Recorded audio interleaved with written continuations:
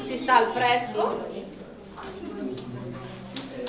Magari con eh, del buon vino, magari con del dolcetto. E qui si aspetta. Sono entrati tutti. Tutti, tutti. Venite, ma venite più avanti, venite. Lasciatevi guardare bene. Oh, ma quanta bella gente. Quanti baldi uomini vedo, eh? Lei lì dietro ha le spalle ben larghe, eh? Oh, sì? Sì, sì, sì. Anche lei laggiù in fondo, vedo. Potreste fare i gendarmi, sapete? Che avete da guardare? Una signorina, un'anziana nonnina non può farsi un goccetto di vino ogni tanto. Eh, beh, quindi siete dei gendarmi voi due? Sì. Sì, co- come sì? Siete sicuri? Davvero? Gendarmi? Ce n'è altri? Pensateci bene prima di rispondere, eh? Maino, calmo. Sono dei visitatori che sono venuti a conoscerti. Metti via la pistola. Ah, potevate dirlo prima però. Eh, Andiamo. Ah. Scusate compari, ma la vita del brigante è così. Non ci si può mai fidare di nessuno. Devo stare bene attento perché la testa mi resti attaccata al collo. Comunque, come avrete forse intuito, io sono Maino della Spinetta, re di Marengo e imperatore delle Alpi, terrore delle truppe napoleoniche, al vostro servizio. Eppure fino a qualche anno fa non ero altro che il semplice Giuseppe Maino. Giuseppe. Beh, un ragazzo come tanti altri, un ragazzo che pensava solo a sposarsi. Sposarsi con la sua bella Cristina, sì. Eh, me lo ricordo come se fosse ieri il giorno del matrimonio. 19 febbraio 1803. Cristina era così bella, le sue parenti l'avevano tutta agghindata e suo zio, che era prete, aveva riempito la chiesa di fiori. Doveva essere un giorno magnifico, direte, il giorno più bello delle nostre vite. E invece no, e invece no, quei maledetti francesi. Eh, sono venuti a rovinarci la festa. Non gli bastava scavalcare le Alpi, venire qua con i loro cannoni, a conquistare le nostre terre, a devastare i campi, a gettare in rovina famiglie e famiglie di contadini. No, sono anche venuti qui a cambiarci le nostre tradizioni. Forse lo saprete, ma da queste parti di solito si sparavano dei colpi di fucile in aria durante un matrimonio, così per festeggiare.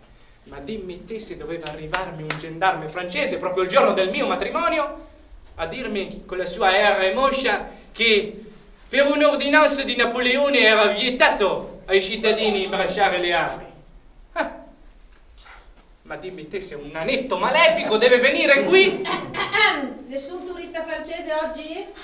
e se anche fosse ormai le generazioni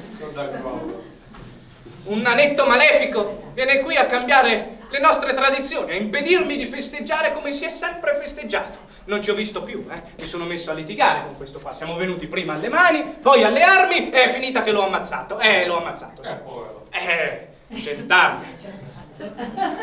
L'ho ammazzato. Però, avendo ammazzato un gendarme francese, non potevo far altro che scappare. Io, i miei fratelli e qualche amico. Ci siamo dati alla macchia. Cosa potevamo fare? Siamo diventati dei briganti. Eh, eravamo pochi, la banda era piccola. Ma ben presto, in pochi mesi, siamo diventati prima 10, poi 20, 50. Eh, in Piemonte ce n'è di gente che ce l'ha su coi francesi. E poi hanno cominciato ad arrivarne da tutta Italia e oggi Maino della Spinetta ha ai suoi ordini ben 200 uomini a piedi e 40 a cavallo. Pensate, gliene abbiamo fatte ai francesi, eh? Una volta mi ricordo abbiamo fermato la carrozza di un pezzo grosso, un generale. Un pezzo grosso, un generale. Il generale Milot si chiamava. Ma noi li abbiamo mica ammazzati, eh? No, no, no, no. Gli abbiamo portato via tutti i preziosi che avevano, anelli, collane, gioielli, tutto, tutto. A casa ho ancora la, la medaglia della Legion d'onore di quel generale. Un'altra volta invece abbiamo assaltato il convoglio del Papa, pensate. Stava andando in Francia anche lui, era di malumore perché stava andando a incoronare imperatore il nanetto malefico.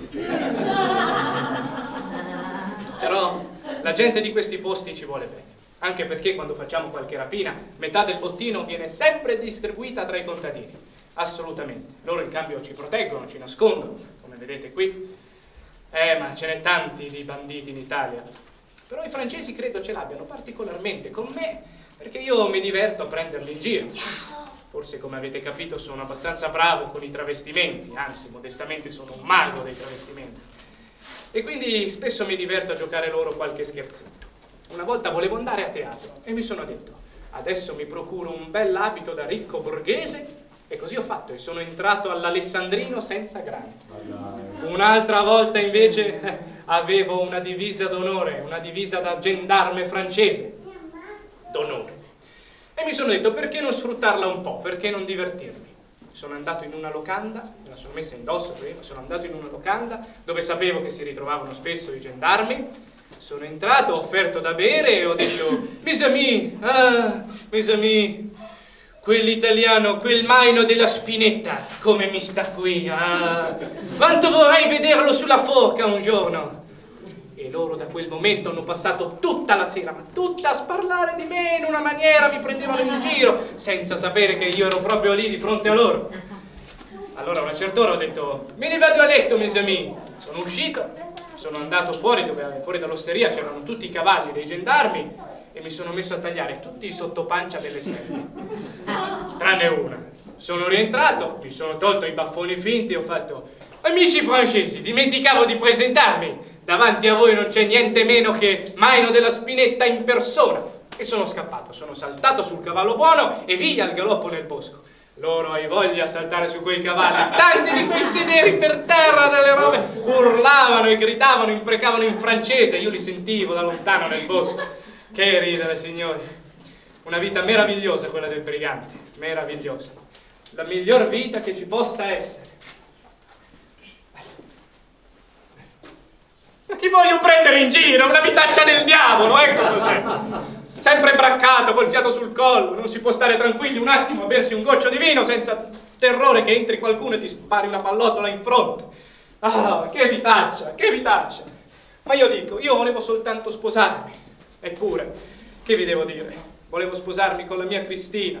Ci ho provato, ci ho provato tante volte a, a dirle, Cristina, lasciami, lasciami andare, lascia che io trovati un altro uomo, ma lei niente, si è sempre rifiutata.